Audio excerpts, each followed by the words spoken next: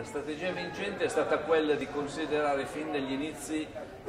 gli scopi per cui un consorzio era nato, e cioè il fatto di garantire la correttezza del trattamento dei pneumatici a fine vita, nell'interesse del cittadino che quando compra un pneumatico eh, verso un contributo affinché quello che lascia a terra venga correttamente trattato e quindi nell'interesse dell'intero Paese sul fronte ambientale. Nello stesso tempo cercare di originare da questo rifiuto materie prime e seconde per poter affrontare il tema appunto dell'economia circolare che richiede di utilizzare più volte i materiali nel ciclo di vita dei vari prodotti.